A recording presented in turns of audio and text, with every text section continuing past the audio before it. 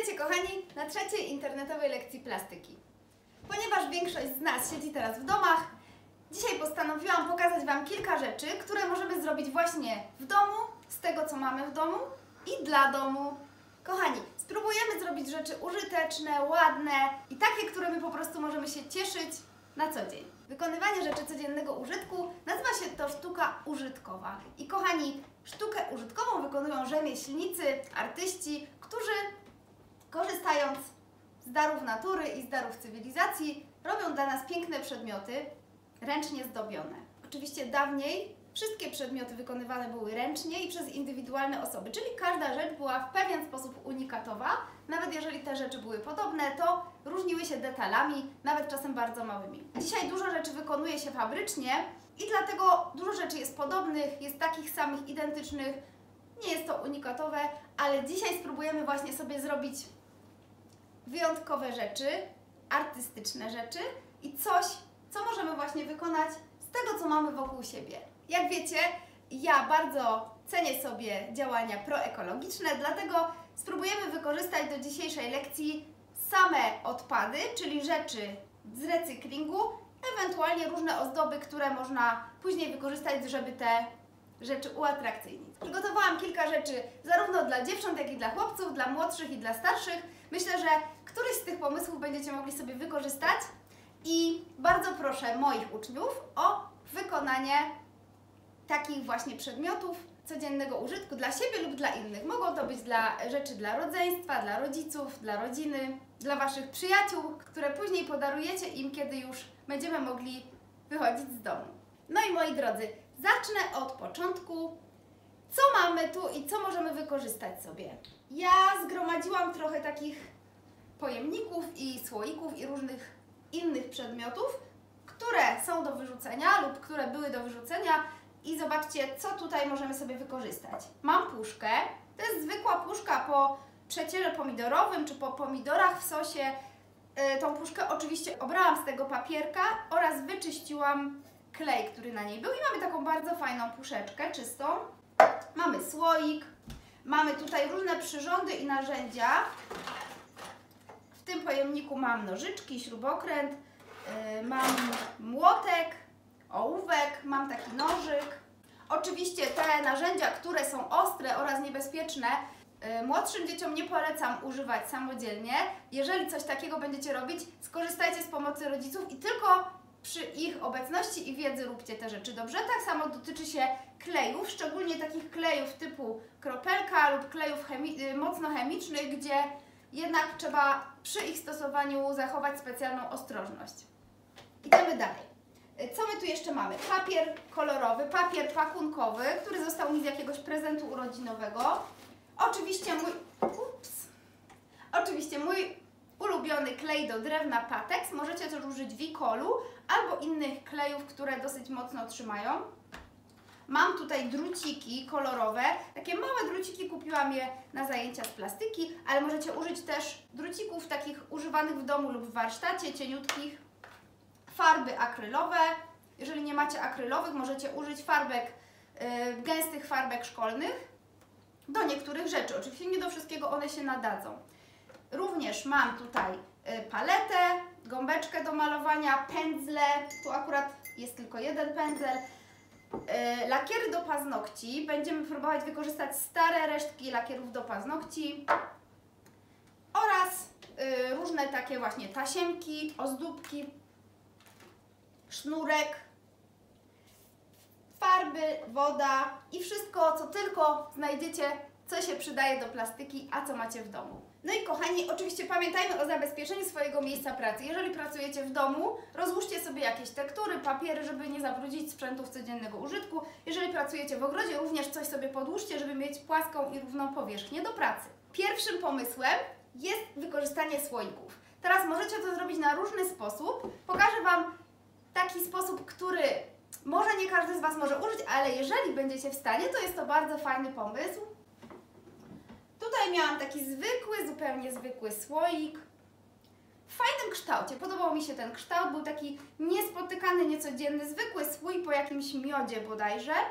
I zupełnie też zwyczajna nakrętka. No i kochani, co zrobiłam z tym słoikiem? Przerobiłam go na pojemnik na waciki. Zobaczcie, w środku włożyłam nawet idealnie mieści się taki pojemnik po jogurcie obrany z wacikami kosmetycznymi. Jest to coś, co wykonałam do łazienki. Wykonałam to do swojej łazienki. Można zrobić w różnych kolorach ten słoik. I teraz jak to zrobić?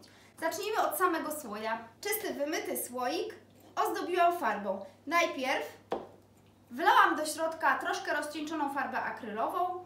Może to być też inna farba albo tusz kreślarski, jeżeli macie taki w domu.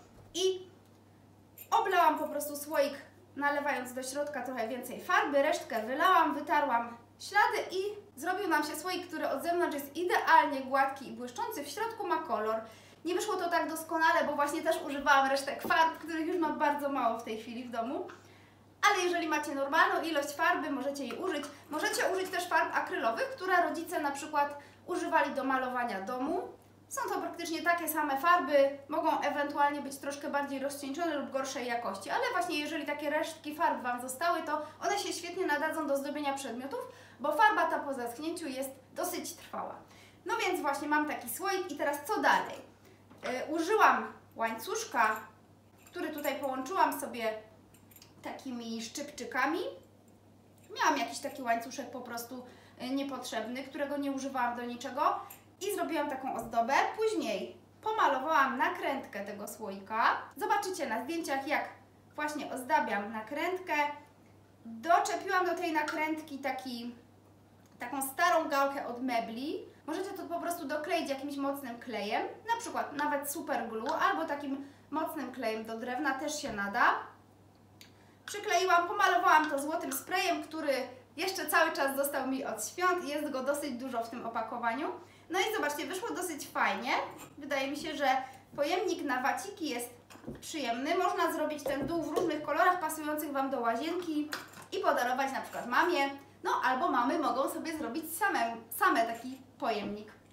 Do kompletu zrobiłam też szklankę na na przykład na przyrządy do makijażu, która jest wymalowana tym razem ze środka, tym samym złotym sprayem. Yy, tutaj użyłam szklanki tak zwanej musztardówki, takiej zwykłej, grubej szklanki, która tak łatwo się nie stłucze. I w środku jest pomalowana, znowu tutaj mamy taką piękną, błyszczącą powierzchnię, więc nie widać nic tej farby, żadnych nierówności na zewnątrz. No i też doczepiłam, dokleiłam do niej yy, ten sam łańcuch, resztkę z tamtego łańcucha z takim tutaj efektem zwisającym, żeby to było troszkę bardziej takie fikuśne. No i mam taki komplet do łazienki, całkiem w porządku. Można by to pewnie zrobić lepiej, gdybym miała więcej czasu. Tymczasem starałam się Wam pokazać różne pomysły. Musiałam je najpierw sama wykonać, żebyście mogli zobaczyć, jak to się robi. No i teraz następna rzecz. Szklanka, taka bardziej już dla dzieci. Myślę, że coś takiego może wykonać nawet młodsza młodzież szkolna. Zobaczcie, też zwykła, taka najzwyklejsza szklaneczka pozostała z jakiegoś produktu i użyłam do ozdobienia tej szklanki takiej taśmy oraz takiego akrylu w brokacie. Można go kupić w sklepie papierniczym. Ja akurat go kupiłam w Wieliczce w sklepie papierniczym na rynku. Bardzo fajna rzecz, można do ozdobienia przeróżnych rzeczy tego akrylu używać. Kosztuje 8 zł, ale na pewno starczy Wam na długo, bo jest go dużo w środku. I teraz wymalowałam tą szklankę bardzo grubo, grubym pędzlem, właśnie tym brokatem. Wysypałam jeszcze takimi e, cekinami, które mi zostały z jakichś prac. Nie wiem, czy to tu widać, ale na zdjęciach to też zobaczycie. I później okleiłam brzeg tej szklanki właśnie taśmą z pomponikami oraz jeszcze dodatkowo tymi małymi cekinkami. No i możemy mieć taką szklaneczkę na przykład na trzymanie przyborów szkolnych albo właśnie pędzel do makijażu, jeżeli będzie to coś, co używają nastolatki lub Wasze mamy. Bardzo ozdobna, wesoła, mieniąca się szklaneczka do takiego dziecięcego, dziewczęcego pokoiku będzie fajnie wyglądała. No to idźmy dalej. Następny pomysł to szufladka. Znalazłam pudełko po perfumach, które zostawiam czasem takie rzeczy, ponieważ one Y, często mi się przydają na zajęcia z plastyki. Pudełko było bardzo porządne, z takiej grubej tektury i miało szufladkę. Właśnie tutaj były te perfumy. Część wypełnienia tej szufladki wyjęłam. No i zobaczcie, jak zrobiłam tą, y, tą kolorową komutkę na różne przybory lub kosmetyki. Najpierw wyjęłam szufladkę, później jak widzicie, oklejam osobno szufladkę, osobno całe pudełko z zewnątrz, ze wszystkich stron, tak żeby to ładnie wyglądało. Ja tutaj akurat użyłam takiego materiału samoprzylepnego, który miałam akurat w domu, ale możecie użyć zwykłego papieru pakunkowego lub papieru kolorowego. Możecie też to pomalować. Jeżeli macie fajne, dobrej jakości farby akrylowe, jak najbardziej pomalowanie też się sprawdzi. No ale ja chciałam, żeby to było tak profesjonalnie, więc jest to materiał i do tej szufladki przyczepiłam koralik kryształowy, który związałam takim krótkim, takim właśnie cienkim drucikiem i od spodu przymocowałam jeszcze drugi koralik, wokół którego jest ten drucik później zaplątany, żeby nam się to bardzo dobrze trzymało. Żeby to nie wypadło. Przewiercić trzeba było dziurkę, oczywiście za pomocą igły przez ten, y, przez, przez tą tekturę od szufladki i przełożyłam właśnie i zamocowałam taką gałeczkę. Wygląda jak taka biżuteryjna gałka od mebla, prawda? Do spodu później tego całego mebelka, tego gadżetu, przykleiłam takie mocnym klejem, takie perełki, które wyglądają jak nóżki. No taki mikromebelek, możemy trzymać w nim właśnie kosmetyki, jakąś biżuterię, jakieś Wasze szpargały. Można podarować mamie na Dzień Matki 26 maja, więc już niedługo. I teraz następna rzecz. Pudełko. Zobaczcie, miałam takie piękne zielone pudełko po herbacie dobrej jakości japońskiej. E, pudełko niestety do niczego mi nie pasuje, mimo że bardzo mi się podobało i pewnie gdybym miała inny wystrój wnętrza, użyłabym to pudełko takie, jakie było, ale mi te kolory nie pasują. Stwierdziłam, że zrobię dla Was coś takiego bardzo dziewczęcego do pokoiku. I zobaczcie, maluję to pudełeczko metodą gąbkową, farbą akrylową. Nie miałam nawet farby różowej, więc połączyłam jakie kolory? Biały z czerwonym i stworzyłam różową farbę. Gąbeczką maluję maluję to pudełeczko. Dlaczego gąbeczką? Dlatego, że po pędzlu zostałyby ślady, a gąbeczka zostawia taką e, grubą fakturę, taką jakby chropowatą fakturę, ale jest dosyć jednolity efekt. I pomalowałam to kilka razy, ponieważ po wyschnięciu farby trzeba to zrobić jeszcze i czasem jeszcze raz, ponieważ ta farba jest jednak dosyć transparentna, a spód ciemny. No i później ozdobiłam to również tym akrylem tym brokatem w akrylu, który pokazywałam wcześniej, również gąbeczką na wierzchu, żeby miało to taki błyszczący efekt. Fajna ta powierzchnia wyszła według mnie. Gałeczka u góry tego pudełka akurat była złota, więc nie musiałam jej malować. No i brzeg pudełeczka, tutaj takie łączenie, które było między, między tymi dwoma częściami, okleiłam taśmą z pomponikami, a do spodu przykleiłam drewniane różowe koraliki, które służą jako nam takie nóżki. O, to się powinno otrzymać, akurat mi się przewróciło w tej chwili, ale, ale spoko, da radę to postawić. I do środka również możecie wsadzić jakieś drobne przybory szkolne, albo dać mamie na szpilki, guziki, czy inne przybory do szycia. Następny pomysł. Teraz pomysł być może troszkę dla młodszych, ale niekoniecznie, bo zależy od tego, czego użyjecie i jaką techniką wykonacie tą pracę. Zrobiłam taki przybornik, żeby Wam pokazać, jak można to zrobić. Popatrzcie, miałam różne e, rolki. Niekoniecznie po papierze toaletowym, bo nie każdy to pochwala, gdyż jednak to było używane w toalecie, ale są też rolki kuchenne, rolki po właśnie takich papierach e, ozdobnych i w środku mamy często taką tekturową rolę, którą można pociąć na kawałki. Ja tutaj pocięłam to na różnej długości kawałki celowo, żebyśmy mieli takie różne warstwy, po czym Wzięłam sobie taki, który został mi z tarasu, klocek drewniany, pomalowałam go również w jednolitym kolorze farbą akrylową. Zobaczcie, tu nawet troszkę wystają takie, y, można by to przyszlifować, jeszcze ja nie miałam na to czasu, żeby to tak doskonale wykończyć, ale efekt i tak mi się podoba. Miał takie fajne rowki, więc tym bardziej ta faktura mi się tutaj spodobała. Pomalowałam go bardzo dokładnie, kilka razy tą farbą akrylową. Tutaj nawet mamy tą farbę, którą malowałam, zobaczcie też z tego samego sklepu za 7 zł. No i do tego przykleiłam właśnie różnej wysokości rolki pomalowane na różne kolory. Zobaczcie tutaj macie pracę w trakcie, jak właśnie maluję na różne kolory te roleczki i przyklejam je później klejem do drewna, właśnie tym klejem, który pokazywałam, Patex, do drewna, do tej podkładki, dosyć blisko siebie. Trzeba dać dosyć dużo kleju od spodu, tego, y, tych rzeczy. Jeżeli Wam trochę wypłynie, można to później delikatnie wytrzeć, na przykład patyczkiem do uszu albo kawałkiem tekturki. No i pomalowane na różne kolory. Wyszło to bardzo nowocześnie, takie troszeczkę pop art, albo właśnie jakieś takie abstrakcyjne y, dzieło sztuki, powiedziałabym.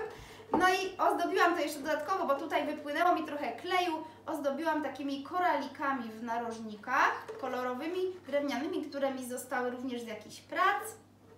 No i mamy taki fajny przybornik na biurko. Możecie sobie do tego przybornika wsadzać długopisy, ołówki. Tu może się zmieścić na przykład długa linijka albo właśnie pędzle. Pędzel może wejść też tutaj doskonale. Ołówki przeróżnego rodzaju. Tutaj mogą wejść gumki do mazania, spinacze, cokolwiek Wam przyjdzie do głowy, strugaczka. Mi się bardzo podoba, to jest takie wesołe.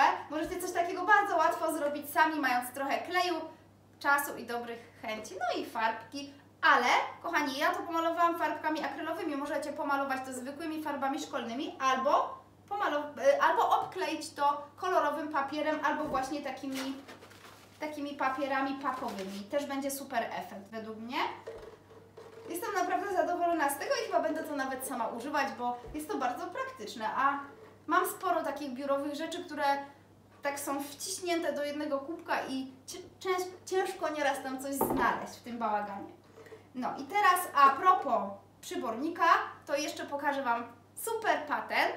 Jeżeli kupujecie czasem albo kupowaliście, albo Wasze rodzeństwo ma jajka niespodzianki, to na pewno macie takie żółte pojemniczki, w których są te gadżety schowane do jajka. No i co zrobić z tymi pojemniczkami, żeby się nie walały? Wykonałam coś takiego. Poznajecie? To minionek oczywiście. Jak to zrobiłam? Bardzo fajna rzecz. Wzięłam po prostu w zasadzie gotowy kształt, bo minionek ma idealnie taki właśnie kształt troszkę spłaszczonego jajka. I pomalowałam kształt minionka, ale zanim to zrobiłam, Zobaczcie, przygotowałam sobie to jajko, wymyłam je oczywiście bardzo dokładnie, żeby nie było tłuste ani brudne. Później rozgrzanym śrubokrętem, rozgrzałam go na świeczce, jak tutaj widać. Oczywiście tego nie róbcie sami, szczególnie jeżeli jesteście y, w młodszych klasach, bo no jednak zabawa ogniem nie jest bezpieczna i lepiej się na coś takiego nie narażajcie. Jeżeli jesteście starsi, to spokojnie możecie to sami wykonać i śrubokręt rozgrzany, zrobiłam dziurkę w tym jajku od spodu delikatnie, żeby nie rozwalić tego jajka. I nadziałam na to ołówek. Następnie zobaczcie, do środka tego jajka, ponieważ jest otwierane, możemy sobie schować przybory szkolne. Taki ołówek z końcówką, na której jest strugaczka, gumka i na przykład jakieś spinacze albo nawet kilka żel, misi żelków, które chcecie gdzieś skitrać. Możecie to właśnie schować do tego schoweczka. I zobaczcie, pomalowałam to później, to jajko takiego minionka. Jest to bardzo proste. Możecie sobie otworzyć grafikę na internecie i odgapić wzór dowolnego minionka, namalować go na, na tym jajku. No i wyszedł taki całkiem fajny schowek na ołówek. Jestem naprawdę zadowolona z tego i bardzo mi się to podoba. Gdybym była dzieckiem, pewnie cały czas bym na to patrzyła. Kochani, można zrobić też zamiast minionka inne kształty. Podpatrzyłam w internecie, że niektóre osoby robią na przykład marchewkę, buraka albo inny owoc pomidora. Yy, To samo jajeczko malujesz na kolor danego warzywa. Tutaj doklejamy sobie jakieś takie plastikowe albo nawet z papieru czy z bibuły zielone natki. I ten sam patent możemy do takiej marchewki albo buraka schować sobie, albo rzodkiewki, schować sobie przybory na naszym ołówku. Super patent, naprawdę. Jestem bardzo zadowolona z tego patentu. No i w ogóle takie coś proponuję wykonać właśnie młodszym klasom. Myślę, że Wam to bardzo fajnie wyjdzie. Możecie kombinować z kolorami, z kształtami, z wysokością tych, tych rolek, z grubością tych rolek, żeby były różne i wtedy będziecie mieć naprawdę fajny efekt. Jeżeli nie macie deseczki dostępnej, możecie wykorzystać co innego, jakiś stary talerzyk pomalowany farbą akrylową, na przykład też się super nada. No to by było na tyle, jak chodzi o te przybory. Teraz coś dla starszych, być może od czwartej klasy, ale myślę, że fajne patenty. Zobaczcie, ostatnio inspirowałam się wieloma programami, e, jak ozdobić swoje etui na komórkę.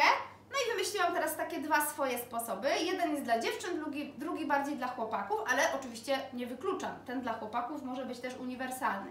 Yy, miałam takie stare etui, bo ja mam nowy telefon teraz, ale firmowo dostałam takie cienkie, silikonowe etui. Na pewno wiecie, jak to wygląda. I ono było przezroczyste. Nie używam tego etui za często, ponieważ to moje nowe, które sobie kupiłam, jest trwalsze i bardziej mocne i yy, lepiej się sprawdza.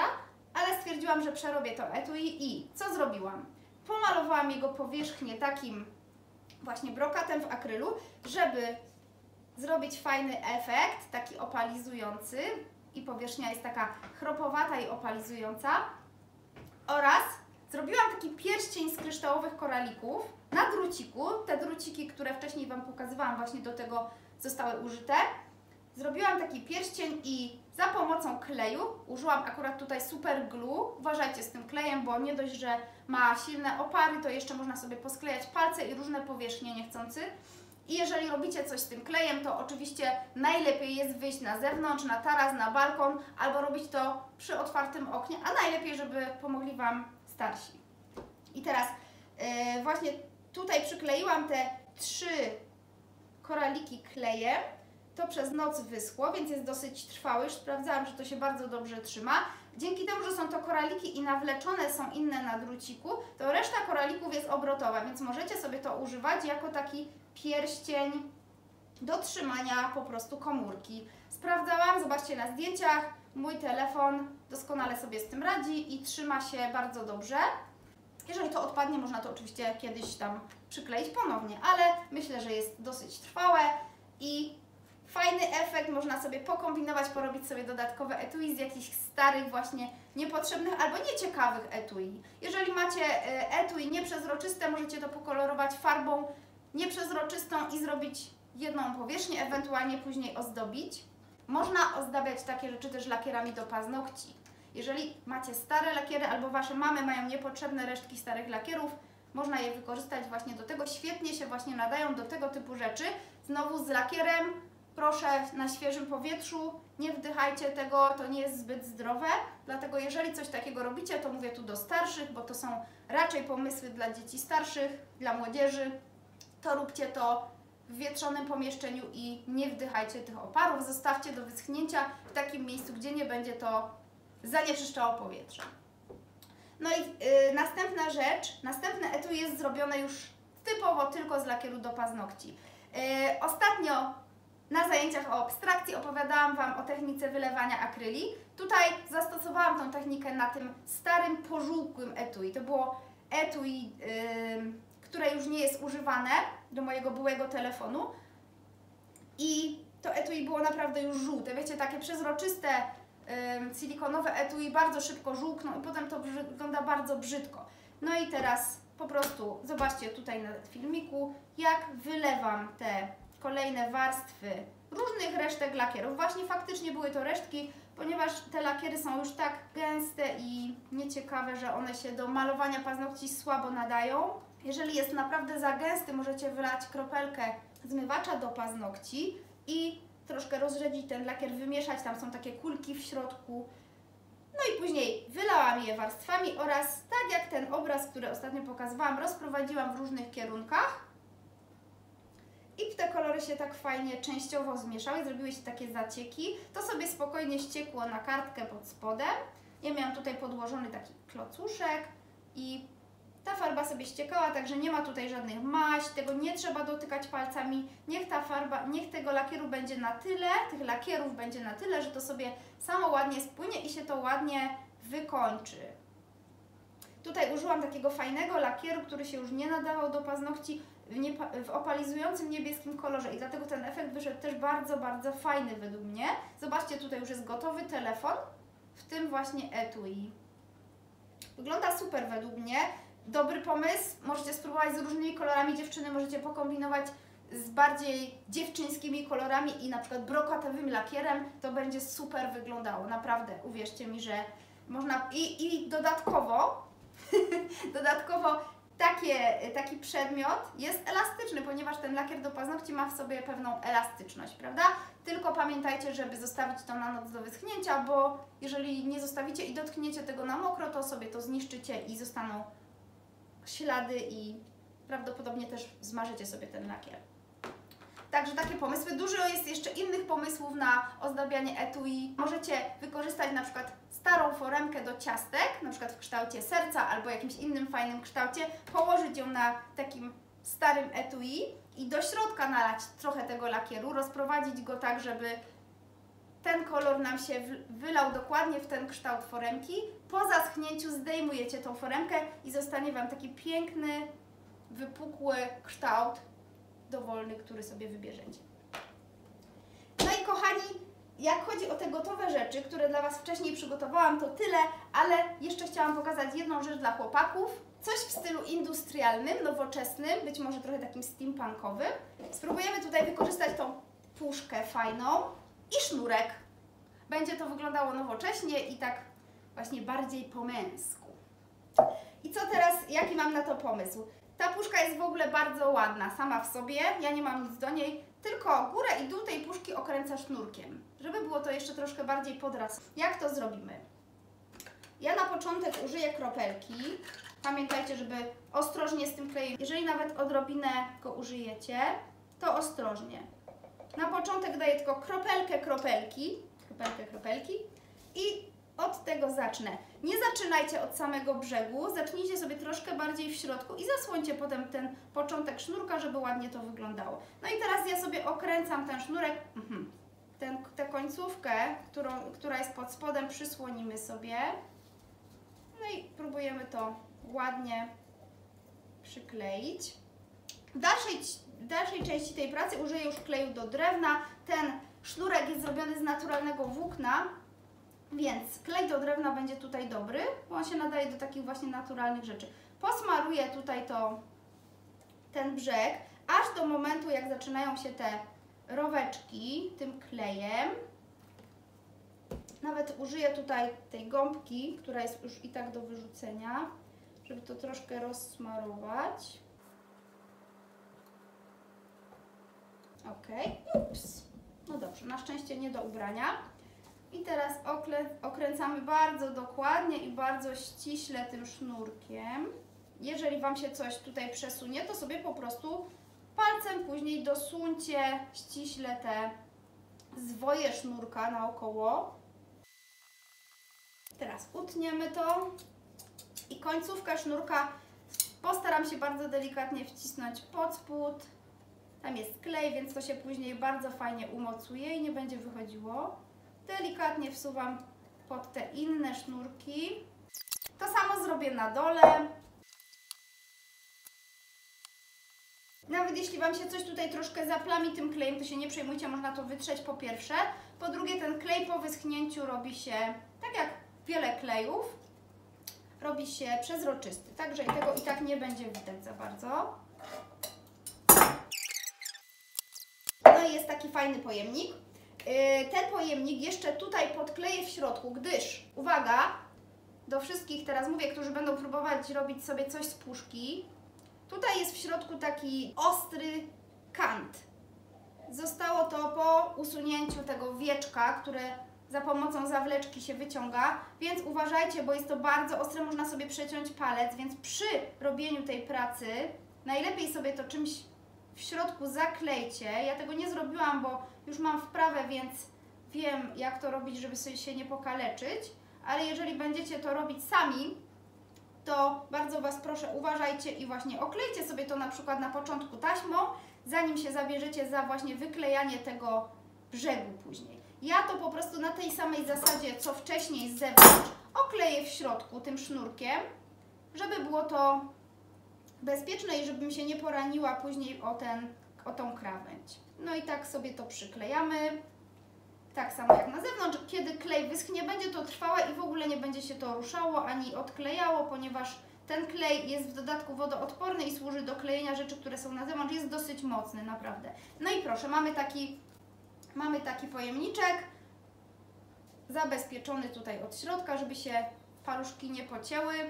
Można wsadzić do niego różne przybory. Tadam! Na biurko dla chłopaka myślę będzie wyglądało to super. Można do tego dorobić inne pojemniki w podobnym stylu. Dołożyć do nich, czy dokleić do nich nawet jakieś rurki. Zrobić to w stylu takim steampunkowym, industrialnym. Na przykład taka, taka foremka aluminiowa. To jest taka niby jednorazowa albo kilkorazowa foremka, jeżeli nie będzie Wam już potrzebna, możecie tego użyć jako taki właśnie pojemnik na biurko. Na przykład dół tej foremki sobie też wykleić sznurkiem albo środek wykleić sobie sznurkiem, żeby tutaj nie robiło to hałasu przy wkładaniu i zrobić sobie taki zestaw industrialny. Polecam takie zabawy i takie zajęcia. Moi uczniowie, kochani, bardzo proszę, zróbcie coś w domu, coś właśnie z rzeczy codziennych, ze śmieci, e, z rzeczy do recyklingu.